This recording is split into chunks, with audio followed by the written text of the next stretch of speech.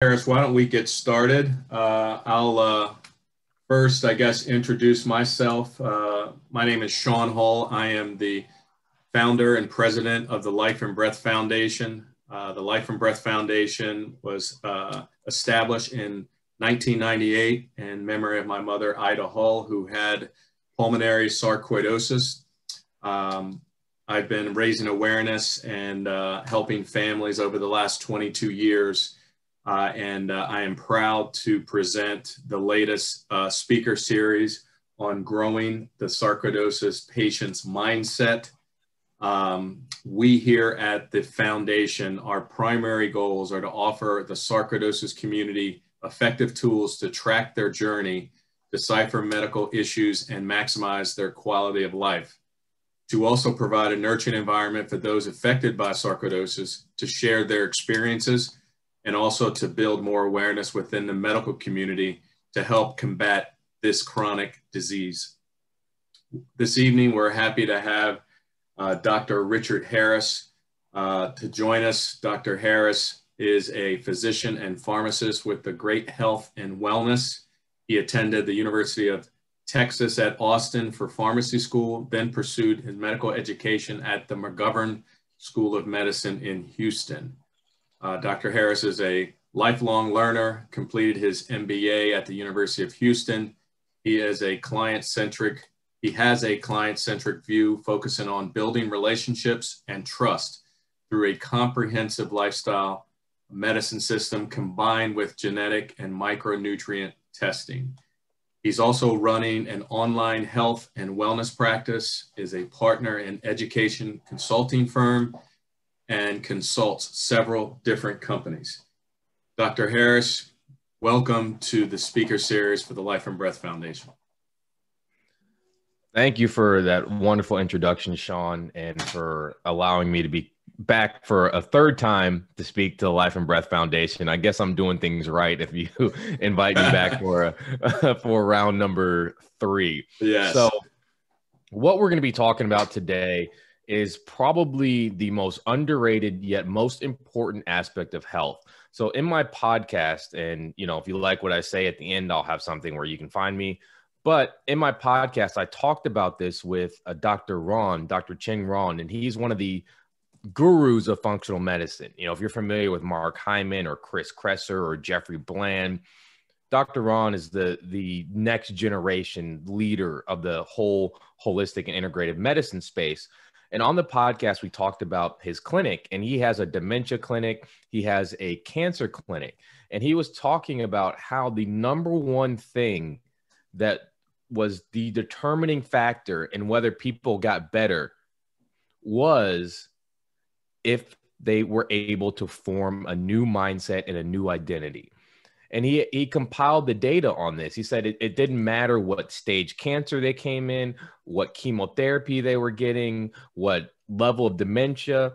They said if they were able to form a new identity and a new mindset, that they were a person who could heal or overcome this, then that's when the healing came and that's what all the quote unquote miracle cases and he even said they're not miracles anymore because he sees them regularly every single time that person formed a new identity and a new mindset and we're going to talk about the core of that mindset today and that is the growth mindset so this presentation was based on a book by carol dweck and in the book, one of the things she says is it's not always the people who start out the smartest who end up the smartest.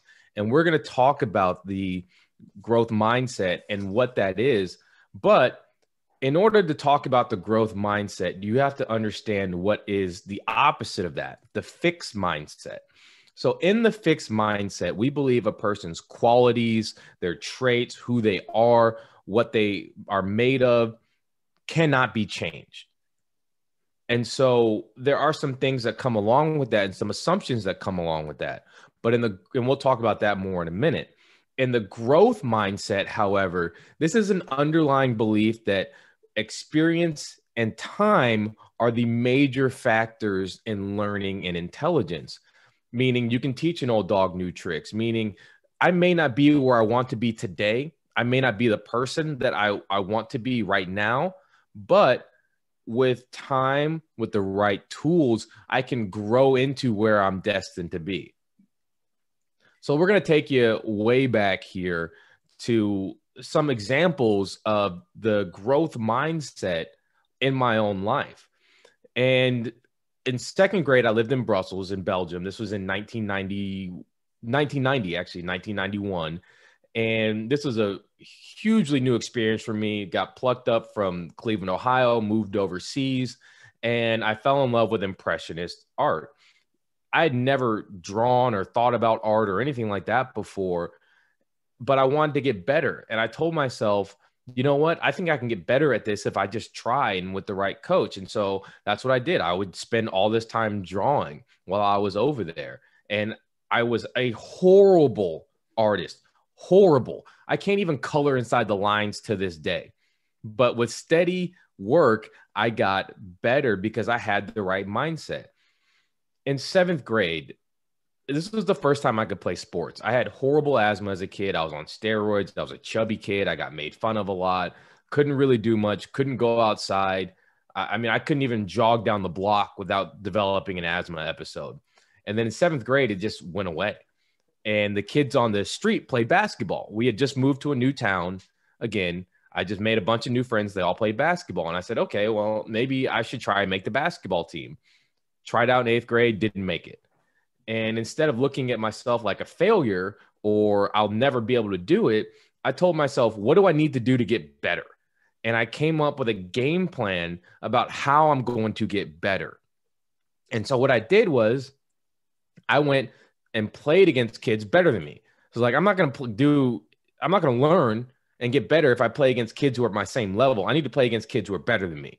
And then I, I came up with a plan. I'm going to shoot for 10 minutes, dribble for 10 minutes, and then play defense for 10 minutes.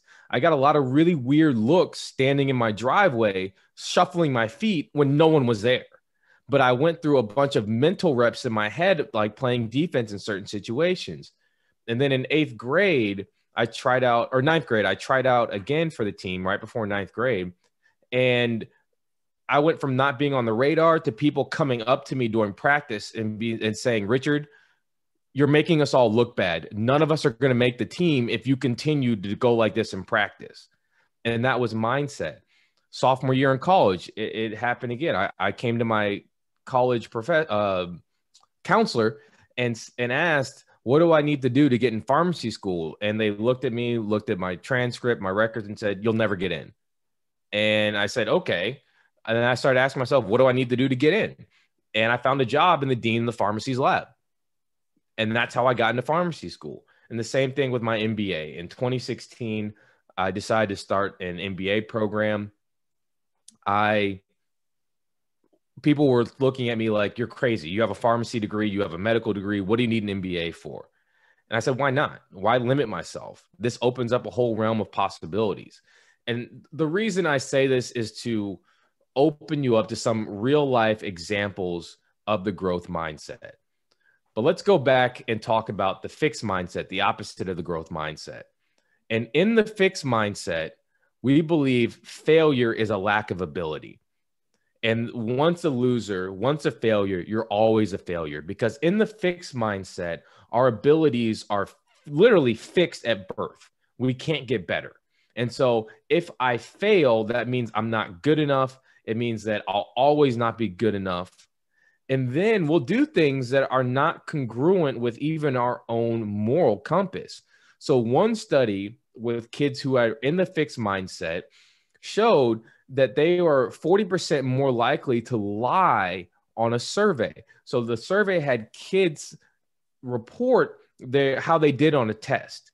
And the kids in the fixed mindset, 40% more of them lied, saying they did better on the test than the kids in the growth mindset. And the reason you'll do this is to maintain your self esteem. You're more likely to cheat, or you'll seek out those who are worse to make yourself feel better. Now, remember in the story I just talked about, I talked about going to find people better than me to better myself. People in the fixed mindset are that misery loves company.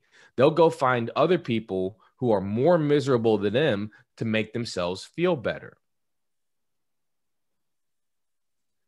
Another thing that happens in the fixed mindset is intelligence is innate and defining.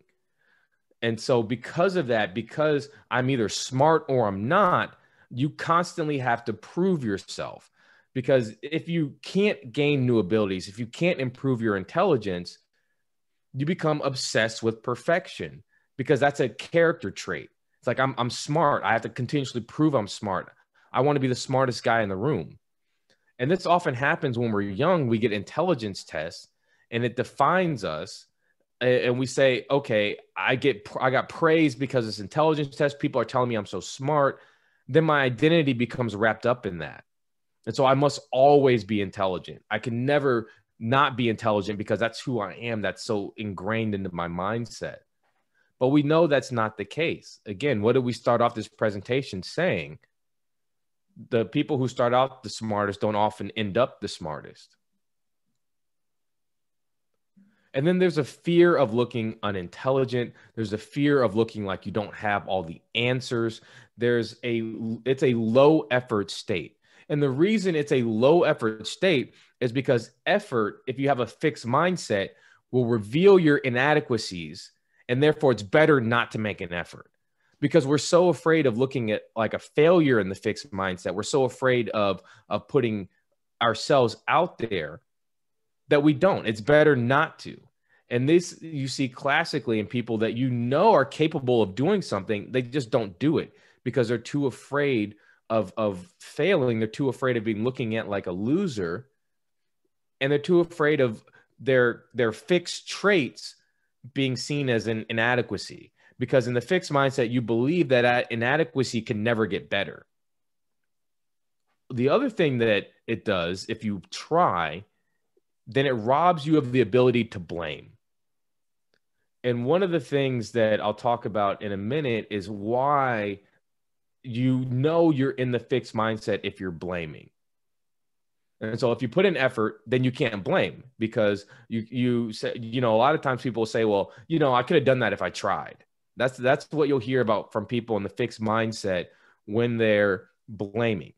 Yo, I can easily do that, but I don't feel like it you know, why bother? It's not worth my time. Those are the excuses that you'll hear. And then also they won't put in effort because effort is for for people without ability.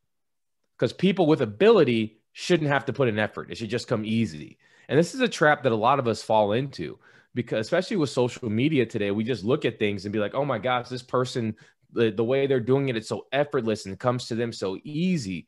And you may not see the snapshot. You, you only see the snapshot of what they want you to see. That person can be looking like it's, it's effortless, but they're really tied down by three ball and chains behind them that are out of the shot. Or they were lugging around those three ball and chains for years, and that's what made them strong. And finally, they got rid of it. So we have to be careful about when we compare ourselves to other people. And then we also have to be cognizant of the fact that innate ability isn't the end all be all and that we can learn and that we can grow. Another thing that happens in this fear of looking unintelligent is we won't ask for help. You know, this is classically the man thing, right? Uh, the all the the memes and things like that. We're lost. No, no, we're not lost. No, I know where I'm going. Right? Because if I did, if I say I don't know where I'm going or I'm lost, then that becomes a character flaw or a a personality defect. And in the fixed mindset, that can't be fixed. So now I feel unintelligent. I feel like I'm not worth something. But in the growth mindset, we ask for help. What did I talk about in that story? You know, I wouldn't found people better than me. I always ask for help in situations. And then in the fixed mindset, it's very alienating because if you get into a scenario like this, you don't ask for help. You won't put in effort. You won't try you'll just withdraw into yourself. In the fixed mindset, we're only interested in being right. All that matters is be right. And then every time you make a mistake, your confidence decreases. How many times have we seen this where you've seen a kid or someone else you thought was really good at something, and then all of a sudden they just give it up, and you're like, "What? Whoa, you were really good at that. Like, what happened?" and they made a mistake and then their confidence came down, made another mistake and the confident, and then made a third mistake. And like, I can't do this anymore. I don't have the ability. And so they've done studies on this where they looked at people during tests. And this can tell you if you're in a fixed mindset or not. The people in the fixed mindset only pay attention to questions they got right. And they did this by looking at brain waves. So you can tell by certain patterns if you're excited in the brain waves. And so when they looked at the questions, the fixed mindset people's brain waves only spiked up when they looked at the questions they got right because it enhanced their self-esteem. It made them feel better about themselves. They didn't even look at the things that they got wrong. They didn't even care about trying to fix trying to improve the things that are wrong. And this goes in with the next point. In the fixed mindset, one strike and you're out. You have to get it right on the first try or you lose interest. And then you have to keep getting it right. Because in the fixed mindset, you getting it right is associated with your own innate abilities that cannot change. And so once you get it wrong the first time, then it's, you know, I don't have enough ability and I can't get enough ability. So let me move on to something else. And another thing that we see is there is rumination on failures. And so uh, people with the fixed mindset actually have more depression. You know, a lot of the studies related to some of the social dis- uh, discrepancies we see. So there is evidence that shows if you are a certain minority that's associated with a stereotype of being unintelligent, and in this group, they use African American children. If they have on the test a checkbox that you check your race, the African American kids did worse on the test just solely based upon that. But it was only those with the fixed mindset. The ones who didn't have the fixed mindset didn't do worse. But the ones who did, just being reminded of that stereotype was enough for them to do worse on the test. Because then all of a sudden, now that's in their head that, oh, I can't do this. I'm not good enough. And then when they think they're not good enough, then their performance follows. This is the same with women in science. If you put, if you look at a group in science classes and there's a mix of men and women, the women with the fixed mindset do worse on the test because what's the stereotype there? Women aren't as good at science and math as men. We know that's not true. But when you put these the this w- these women with a group of men, they gets reminded of the stereotype, and if they're in the fixed mindset, they perform to the stereotype. But the women who had the growth mindset did not have a drop in scores. And I think that's really interesting because it shows that our mindset affects our performance. Just like we talked about at the beginning, our mindset affects our health. If you want to know what the most dangerous thing for a human being to do health wise is, most people think it's smoking. It's not smoking, it's social isolation. The hazard ratio, meaning the risk of something bad happening in a a test group versus a a group that doesn't have that condition for social isolation is higher than smoking. And that just shows you our mindset has tremendous effects on our body how we breathe has effects on our health well how we think about problems has effects on our health just like we talked about at the beginning there's a reason i led with that story from dr ruan because we're talking about horrible life altering conditions, cancer, dementia. And the number one thing that he sees looking at his data is what mindset do people have? And we talk about it all the time. If you believe that you cannot be healed, you will never be healed. There's nothing anyone can do to heal you. But if you start to truly believe I can be healed, I can overcome this, I can do this, then the body can work miracles. And just like I said before, the miracle cases that Dr. Ruan was seeing are not miracles anymore. He's seeing them all the time because he works with his people on their mindset, on becoming that person who believes that they can be healed. And this is so important for a disease like sarcoidosis, where there's so much that we don't know. There's so much that we're still trying to figure out. And the presentations are completely different.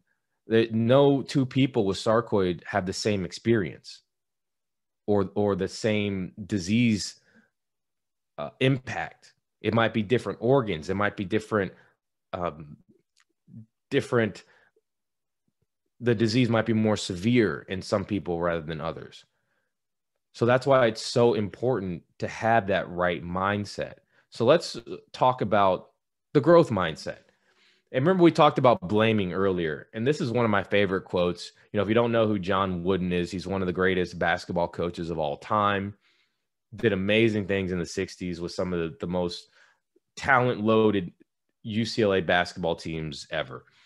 And John Wooden once said, You aren't a failure until you start to blame that's when you know that you failed because that's when you shifted into the fixed mindset.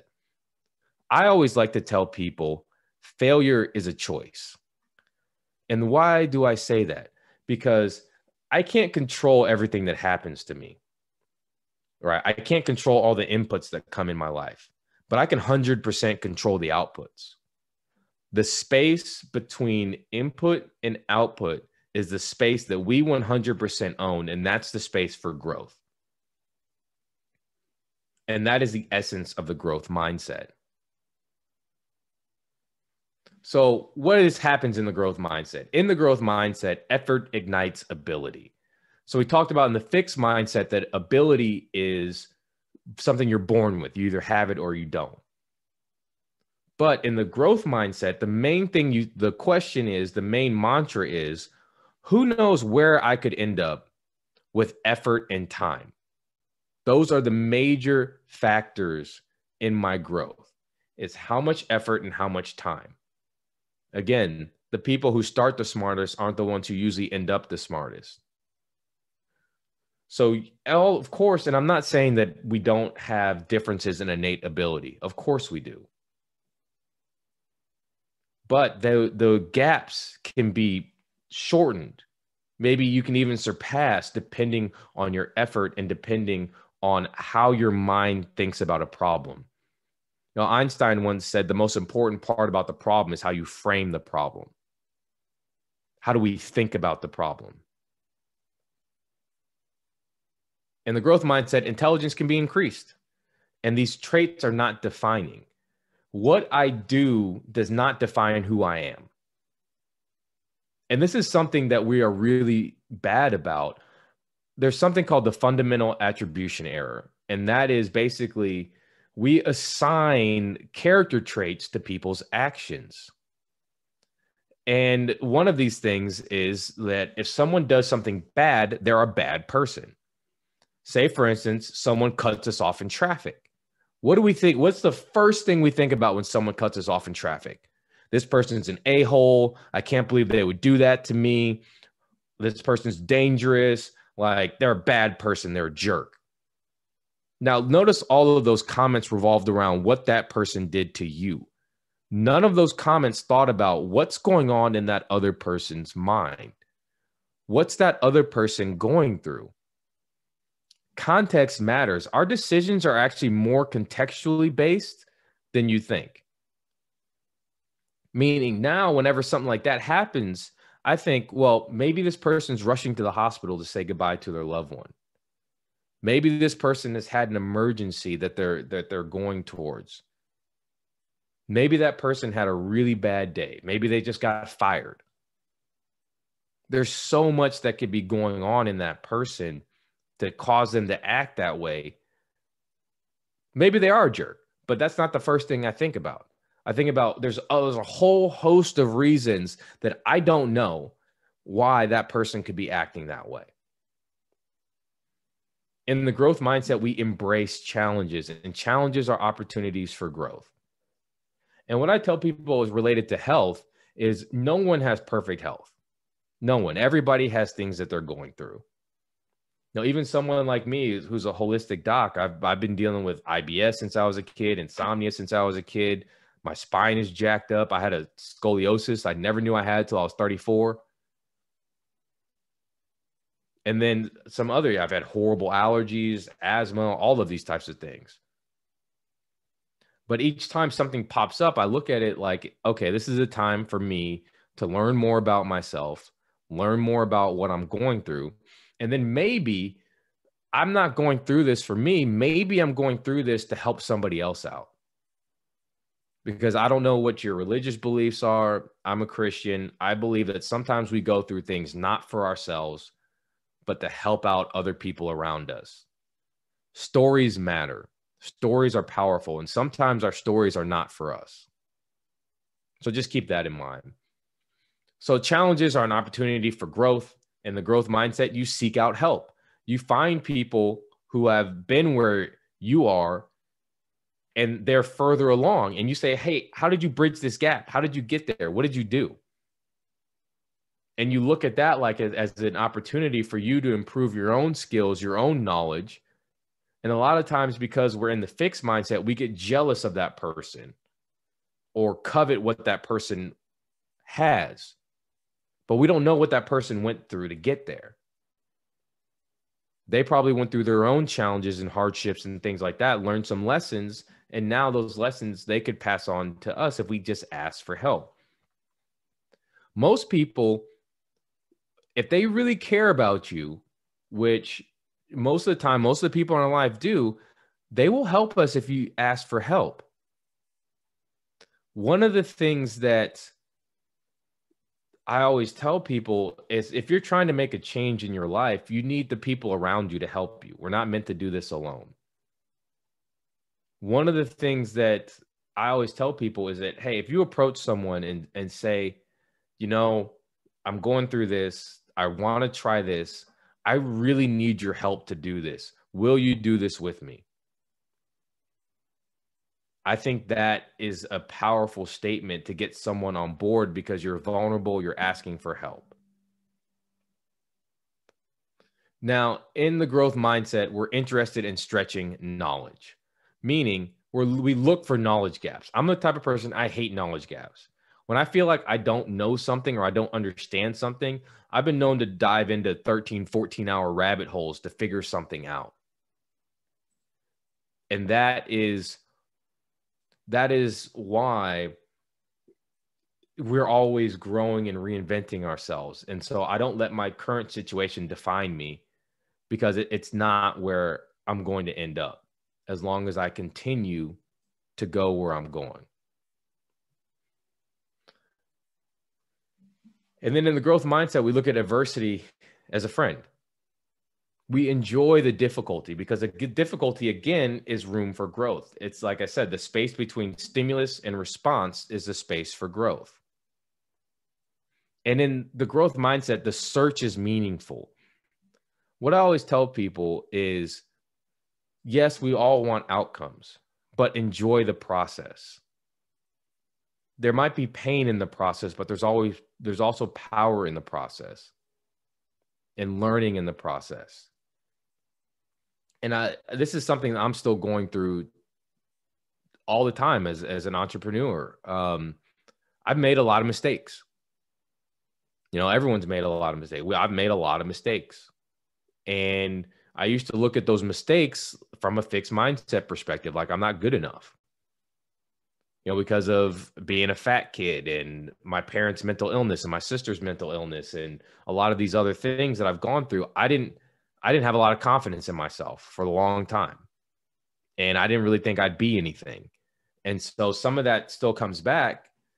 You know, that old trauma still comes back, but I, I have to push it aside a quote from William James, and this is one of my favorite quotes, is our best defense against anxiety is our ability to choose one thought over another. Often people often say, well, you know, I can't just get this out of my head. I'm like, well, do you have aliens beaming thoughts into your head? No. Who's in control of every single thought that enters our head? We are. I am. I'm in control of every single thought that enters my head. Now, it doesn't mean negative thoughts don't enter my head. But what's happened is over time, with thinking positive and retraining my thought processes, I cut them off. and I say, you know what, this is not as bad as I thought, or there's all there's there's there's worse places that I could be. You know, one of the things that's pretty interesting is um, they've done research on people who have gone through traumatizing, horrible events like getting paralyzed. And oftentimes, to us on the outside, we could think, oh my God, that could be the worst thing that would happen. I, I can't imagine what it's like to walk again. But about a year after those events, those people go back to where they were before the event. So if they were sad before the event, they go back to being sad. If they were happy people before the event, they go back to being happy.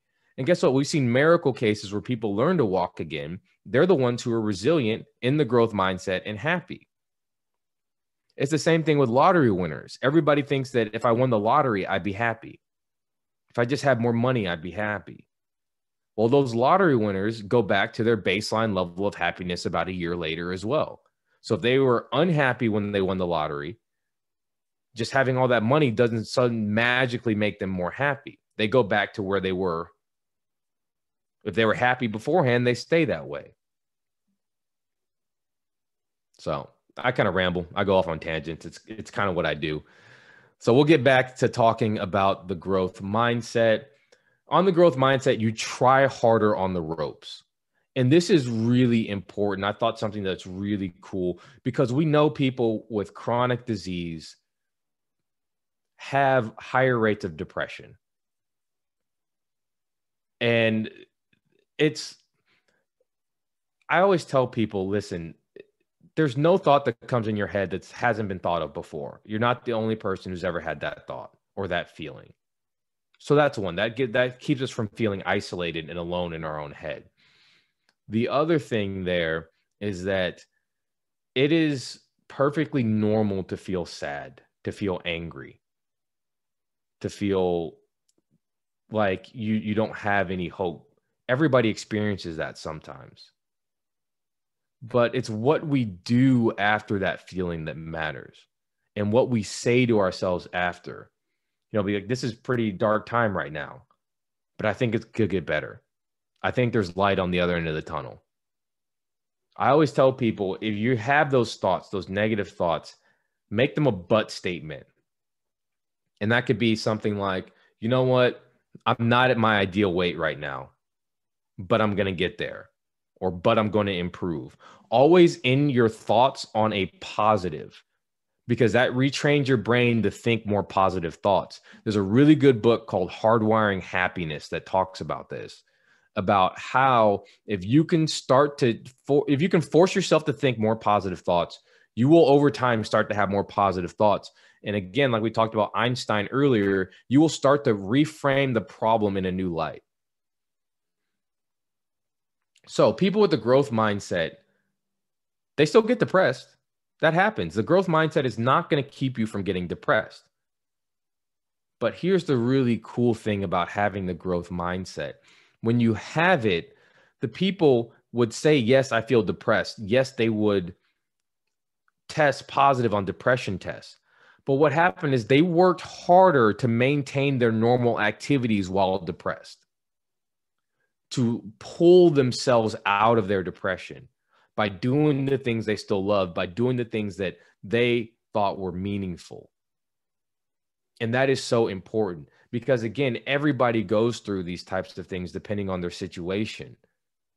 But if we retrain our mindset and how we look at things, it affects our output. You know, I'm a big fan of identity-based habits. If you've never read uh, Atomic Habits by James Clear, it's it's a great book. And we in, in the book it talks about how motivation isn't enough. We're not always going to have motivation. But if we form a new identity that will get us through times we don't have motivation. The example i like to use is i am someone who works out and because i am someone who works out even on days that i don't want to go to the gym because i don't want to go to the gym every day i don't I love the gym, but that probably means about 80% of the time I want to be there, 20% of the time I don't. But because my identity since I was 13 years old is someone who goes to the gym, someone who works out, even the days where I don't want to go, I'm going to do things that are consistent with my own internal identity. And what does that mean? That means I may take me a while to get there. I may drag for a while, but I'm going to drag myself into the gym. This is not in that book, but this is another um, really good book. Malcolm Gladwell, all of his books are ph- phenomenal, all of it completely phenomenal. Talks about outliers. And in outliers, we talk about people who are wildly successful. Typically, we think of it's an innate ability. Like we think that Steve Jobs was just better than all of us. Bill Gates was just better than all of us. Elon Musk is just better than all of us because it, it, it makes a good story. It makes it makes it seem like there are mythical heroes. If you think back to every single society since the beginning of time has had these outlier stories, these stories of heroes, of extraordinary people who do extraordinary things. But what it talks about in this book was that most of it was due to dumb luck. They just ended up at the right place at the right time. Steve Jobs, Bill Gates, they were born during the right time, right when the internet was starting to take off, when computers were starting to become available. Bill Gates, uh, one of the reason why he was so successful is because he literally got to play on a new coding system before it was widely available he happened to get a job at a university that had it, one of the few places in the world that you could have done that as a teenager. And he spent hours doing it. So, again, these guys put in the effort. Did they have innate ability? Absolutely. But most of it was they were in the right place at the right time. But because of the effort that they put in, they were able to capitalize on that. And because of their mindset, how they looked at things, they were able to capitalize on that. And so this is just a picture of the book and and Malcolm Gladwell. Highly suggest all of his books: Tipping Point, Blink, What the Dog Saw, uh, Talking with Strangers. They're all incredible. Mindset of a champion. How do we get the mindset of a champion? What's the Jordan mindset? Always ask why. Why is it this way? Why did you say that? You know, number one thing I tell I tell my wife, or number one thing I say to my wife is, "What do you mean by that?" Number one thing, I probably say that to seventy to eighty percent of of the things that she says, because I'm asking for clarification, so I understand completely what she means. Because when we talk to people, we take what they say and we put it through our own filter, and then we think of something about how we would respond in that situation. Or be, based upon our own context, like we talked about earlier, we form an assumption and say something. But if I say, What did you mean by that? I can completely understand exactly what she means to say. Because a lot of the time she'll say something, and if I didn't ask that, I would misinterpret what she meant or what she wanted. And so always ask why and ask why till you can't ask why anymore know, really drill down on, on that root cause. And then character comes from mindset. And what this talks about is you generally in the fixed mindset when people act outlandish.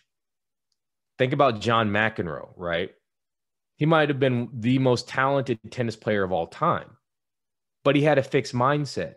And that's why his performance was all over the place you know, it's talked about that if he had a bad match, he would feel like a failure. Because he was so believed that his innate talent was so good that he should never lose. And he should he shouldn't really have to put in effort. All those things that we talked about. So your character comes from how you look at things. Again i used that example earlier of someone cutting us off. Well if someone cuts you off and then you road rage your mindset is fixed because you're just looking at it from your perspective from taking what they did and transforming it through your own lens.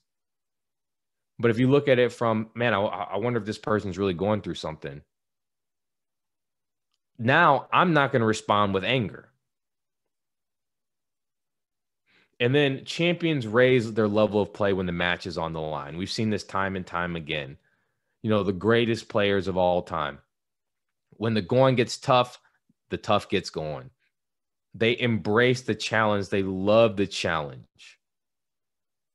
And so when those moments happen, they're not stressed. That's what they live for, that's what they've prepared for, that's what they want. And that's part of the growth mindset. This is slides more for the growth mindset in business.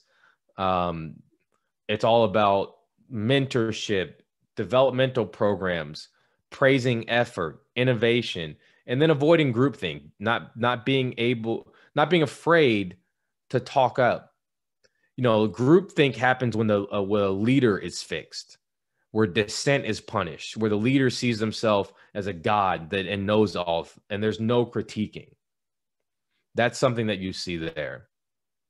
Relationships. This is huge because you can be in a relationship, you can be fixed, the relationship can be fixed, or um, the other person can be fixed. So there's three things that can be fixed. You want to avoid judging, revenge, blame. You know, what do they say about revenge? He who seeks revenge dig two graves. You want to focus on forgiveness, understanding, moving on. And this is even from relationships that don't work. You know, one of the key relationships in my life was a relationship that didn't work. But I wouldn't be where I am today without that person. They helped me through a really difficult time. I don't talk to that person anymore, but I learned a lot about what I needed to do from that relationship. You want to discuss rights and duties. This is so important because a lot of times we we think that the other person owes us something, that they should just get me, that they should just know what I want. No, no one can do that. We're not not mind readers. So we need to discuss what we believe is a right in our relationships and what the duty that other person has. Like if if I believe it's a right for me to get a hug every day or a kiss every day, and I believe that you know it's my significant other's duty to show that they love me every day. You know, we think these things are are commonplace, but they're not. We're all different. We all come from different contexts, from different backgrounds. So you have to be open and discuss what you believe your rights are and what you believe that other person's duties are. And then a thing that's really important is that if you are getting in a new relationship, acknowledge that a new partner is a new set of problems. That's true for everybody. So, one of the things that we see in relationships is, is bullies. Bullies tend to judge others so they feel superior. That's what people bully for. That's the fixed mindset. And then the fixed mindset, um, you're always feeling judged and you want revenge because you feel judged. And then you blame somebody else's character flaws and then feel anger and disgust when that person doesn't change. So that's a vicious loop that we see in the fixed mindset for parenting, it's all about the message. What are you actually praising? What are you saying to that person? And what are you saying about other people behind their backs? Kids are like sponges. They hear everything, they learn everything. They their brains are literally designed to learn as much as possible from their environment. That's the way their brains are. So if you talk about someone else's kid in a fixed way, your kid is going to start thinking that you prioritize fixed thinking. So if you praise some other kid because of their intelligence, your kid is going to think it's important for them to be intelligent and do things just to be intelligent. You want to praise effort. And it's not saying that, you know, if the outcomes are bad, you still praise the effort. You still say, you say, hey, I know you tried really hard on this, but we need to think of some ways eh, so to improve because this outcome was not where we wanted it to be. So you don't call them a failure, say they're stupid or lazy. You still praise the effort, but you say we need better outcomes. How are we going to get better outcomes? And then you just be aware of what you're saying, how you're saying it, the environment, all of the things that we just talked about. This is something that's really interesting. A lot of people tell me I don't have willpower. Willpower is a muscle. It's been shown that you can expand your willpower. You can increase your willpower. Things like exercise, fasting improve willpower, making commitments improve willpower, reducing stress, setting smart goals. And then willpower is fatigable. That's why they say do the difficult thing first because you have more willpower to do so.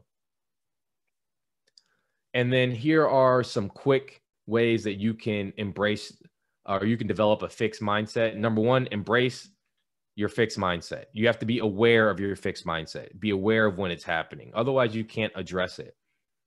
Become aware of your triggers. I know what my triggers are that are going to send me down a fixed mindset. Carol Dweck recommends that you give that fixed mindset a persona. You know, if you get angry at certain things that you you shouldn't get angry at, be like, oh, you know what, Steve's coming on again. What am I going to do about Steve?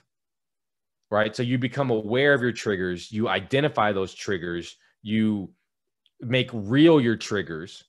And then the step four is you take your triggers with you, meaning you're always on the lookout for them.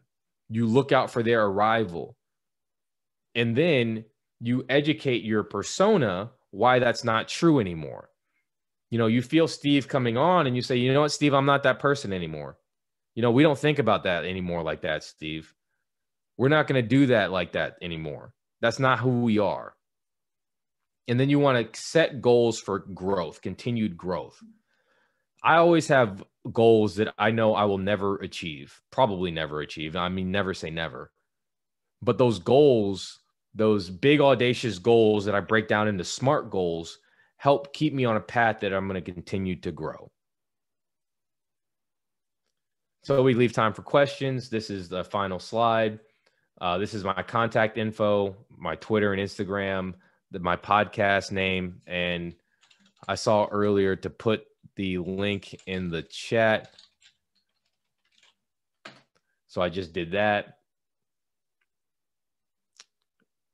And I saw that there's a couple questions.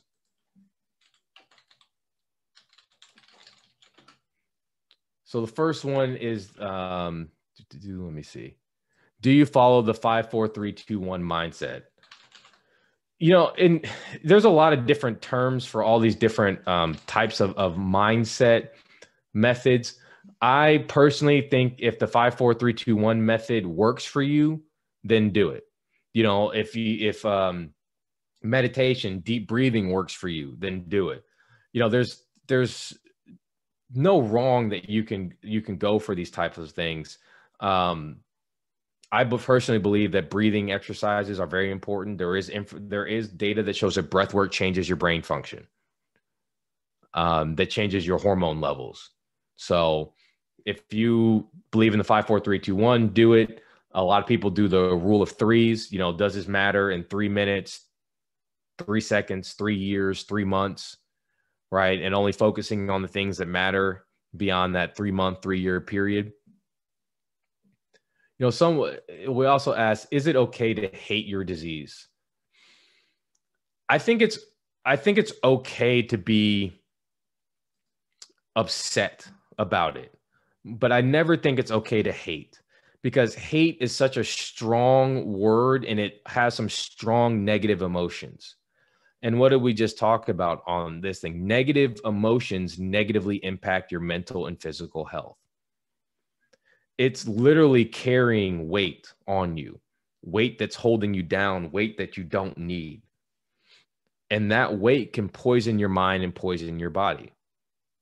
So it, you can always think, you know, why me? Why this happened to me?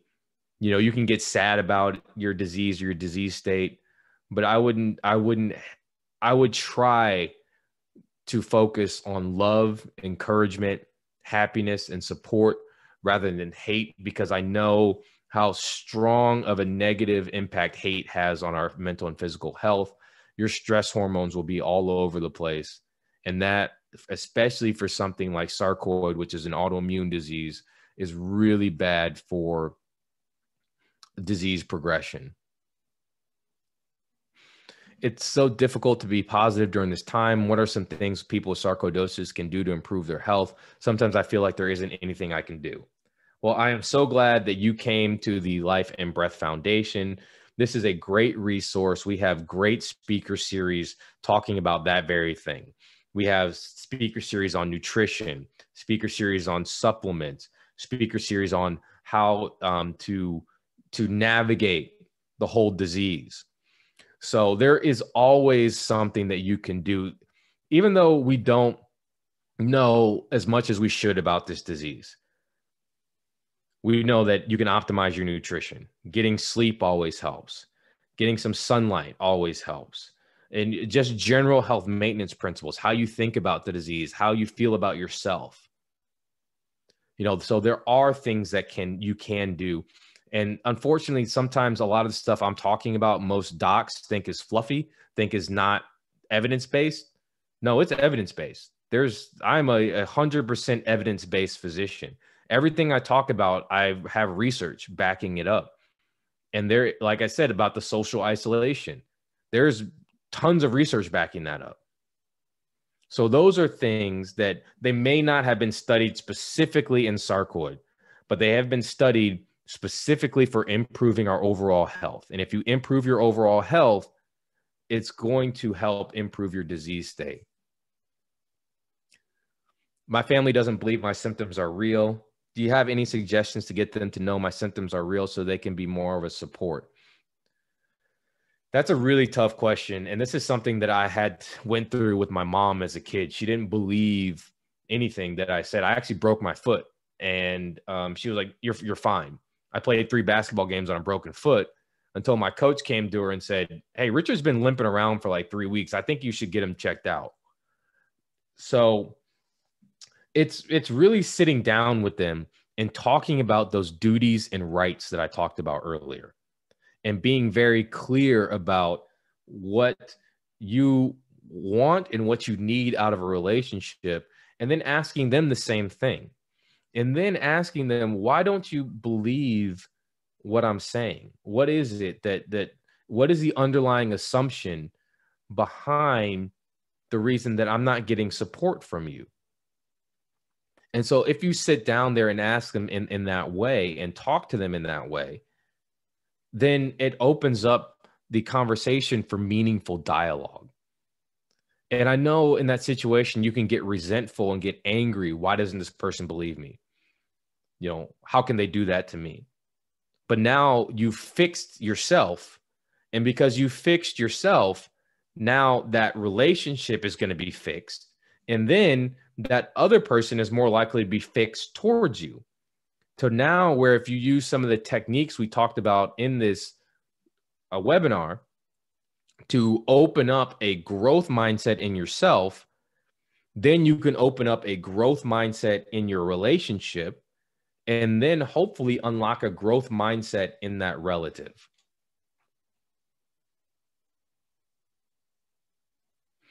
Uh, let's see. Wendy asked, We have had hardly any sunlight here in Rochester in the past two weeks. Any ideas?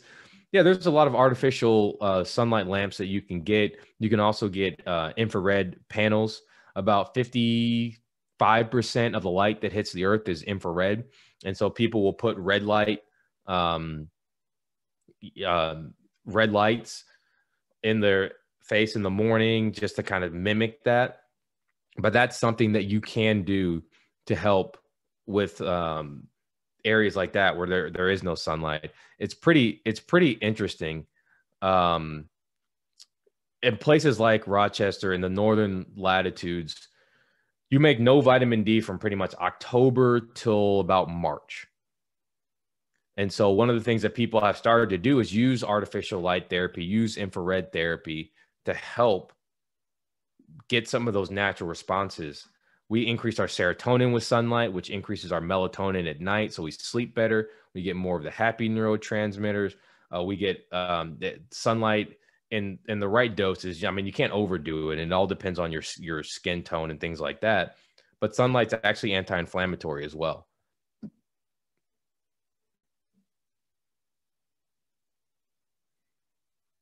Yes, we have a little bit more time left. Are there any more questions?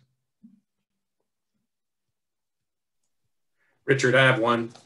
Uh, yes. Could could you explain the process praise phase of maybe um, the growth mindset? Sure.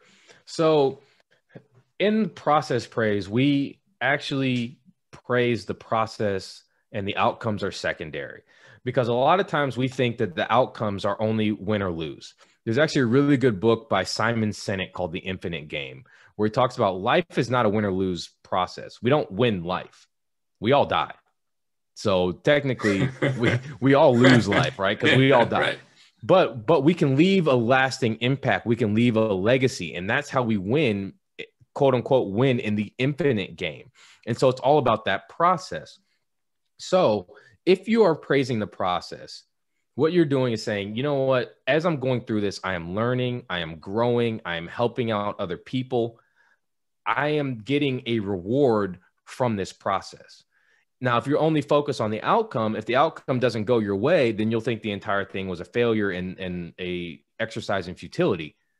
But if you think about that way, that I'm learning, I am growing, I am helping, I am uh, I'm experiencing something new, then even if the outcome is bad, you still see that there was value in the process. And then you tweak the process, amend it, and then you try again. And sometimes that takes a, a lot of tries. You know why WD 40 is called WD 40? Because it was the 40th formula. They tried 40 times to get it right. They didn't get it right until the 40th one. Yeah. And now one of the world's most ubiquitous products, everybody knows what WD 40 is. Yeah. What if they had given up at 27? What if they had not praised the process? They would have stopped. And then they wouldn't have made one of the most famous products ever made. Richard, very good point. And uh, trying to make a little connection here Would want to uh, get your thoughts on it too. You know, some say 93% of the people that have sarcoidosis have to uh, find ways to manage that disease. So a lot of what you've spoken about tonight uh, is going to be beneficial for them as they go through their journey possibly utilizing some of the things that Life and Breath can deliver, additional information, things of that nature. Why is that so important? And especially, why is it important as you interact with a caregiver or a family member or possibly someone in a support group that isn't privy to some of this mindset?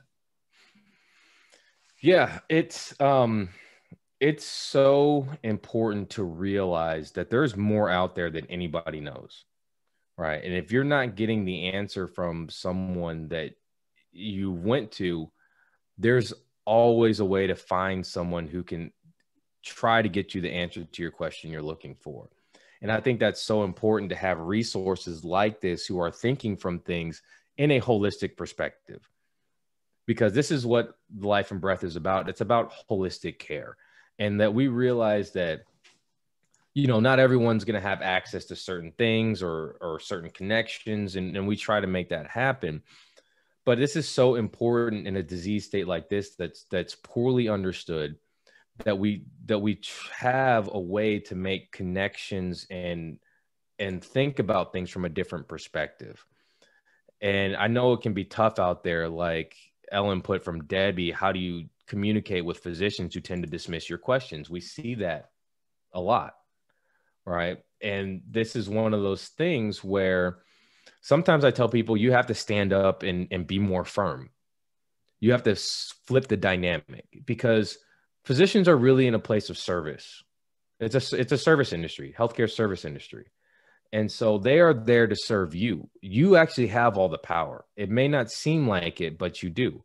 How do you have the power? One, you can go to another physician. Two, you can seek a second opinion. Three, you can fire your physician right? So you actually have all that power in that relationship. And so you I tell patients be more demanding and get the answers that you want. Say no, this is actually really important to me because a lot of times physicians we get at you have to think from again from that growth mindset perspective what's going through that physician's head. If I've seen 30 people in that day, how many questions have I answered that day? Hundreds hundreds of questions. And so that physician might be fixed at that moment, might be burnt out. That happens. And so using what we talked about today to open that relationship up a little bit, I think can help. I know that was a long-winded answer, but I, I, I thought it correlated with the question that Debbie asked. No, I thought it was very important. And I think a lot of a lot of patients have that uh, as they try to seek out and, and get to the right person. You mentioned WD 40. Sometimes, you know, you may not have the right physician and you may need to seek other advice, you know. So I think the takeaway here is don't don't stop, keep trying, keep per- persevering, um, and keep growing. Yeah. Uh, well, Dr. Harris, this has been tremendous. Uh, I took down so many notes uh, from this discussion, and uh, we plan to have this um, taped and put on our YouTube uh, station so that everybody uh, can listen to it. We'll post it online also. Um, I loved a lot of the takeaways here. You gave some incredible uh, reading information that we can go to, including Malcolm Gladwell and some other folks. So uh, again, thank you so much, uh, Dr. Harris, for this wonderful presentation. Uh, you can find out Dr. Harris's information that's in the chat.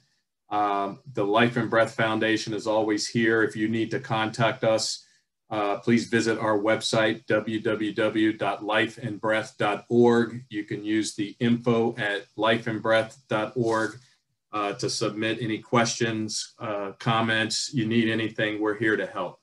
Um, so I'd like to take this time to thank all of you for joining us. We had a really nice crowd tonight uh, to be able to listen in. Uh, we're looking forward to our next uh, speaker series, but Dr. Harris wanted to thank you from the bottom of our heart, from all the patients and their families. We appreciate your efforts and your sharing your time with us this evening.